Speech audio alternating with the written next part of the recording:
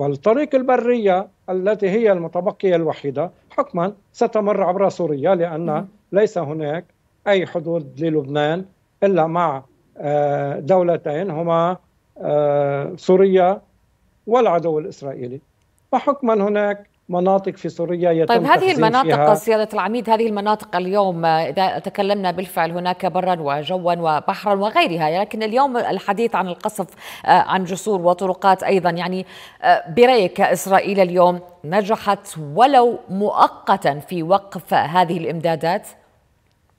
آه إن إسرائيل تقوم منذ فترة طويلة بمراقبة الأجواء السورية آه، مراقبة الأراضي السورية من البوكمال إلى إلى الحدود اللبنانية ولبنان أيضا من بواسطة المسيرات التي هي تعمل على 24 على 24 و7 على 7 آه، وقبل قبل الحرب قبل المرحلة العنيفة التي فتحت منذ 27 أيلول وحتى الآن كان هناك كما يقال والتقارير الغربية تقول أن هناك خمسين مسيرة في الأجواء اللبنانية وحدها تراقب الأراضي اللبنانية.